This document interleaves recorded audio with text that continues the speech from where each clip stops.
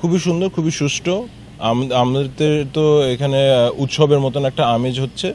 কিন্তু লোকজন সবাই আজকে সকালে তো পূজা পূজা যে শুরু হলো, ওইটার থেকে আস্তে আস্তে লোক বাড়া শুরু করবে। এখন তো শনিবার তো আজকে, আস্তে আস্তে লোক বাড়া আশা করি, ইনশাল্লাহ।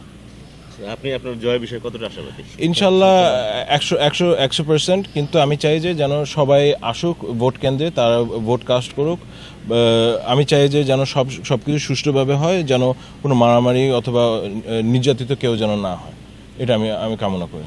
এমনিতেই রংপুরের যে অবস্থা এখন দেখতেছেন। রংপুরের সার্বিক অবস্থা জি। তার মধ্যে আপনার ভাইও তো অংশগ্রহণ করতেছে জি, হ্যাঁ। সবাই মিলে আমরা কি সুষ্ঠু নির্বাচন আমি তো আমি তো চাই তো সবাই যেন সুষ্ঠুভাবে নির্বাচন করে বই কারণ ডেমোক্রেসি হলো সুষ্ঠু সুষ্ঠুভাবেই করা উচিত এটা আমাদেরকে ট্রেন্ডে আনতে হবে যেন সবাই শান্তিতে ভাবে ভোট কেন্দ্রে আসতে পারে ভোট যেন তার নিজের নিজের চয়েসের মতন নিজের ইচ্ছার মতন যেন করতে পারে আচ্ছা যে আজকে সব ভোট তো শুরু হয়েছে প্রায় এক ঘণ্টা পার হয়ে গেল। তা আমরা এর মধ্যে দেখছি ভোটার অনেকই কম এটাই উচিত কম। ভোটারদের উদ্দেশ্যে আপনার কোনো আমি যে বললাম এখন তো এক- ধরনের বড় উৎসব চলতেছে দুর্গা মা মার উৎসব এখন। এখন সবাই পুজোতে আছে।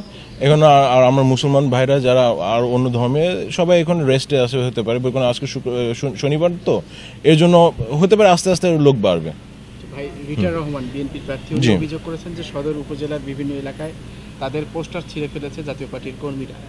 এটা আমি ঠিক জানি না এটা এ- এ- এটার ব্যাপারে আমার আমার কোনো খবর নেই। আর এটা যারা করছে আমি এটা খুব মানে আমি নিন্দা নিন্দা জানাই এটার ব্যাপারে।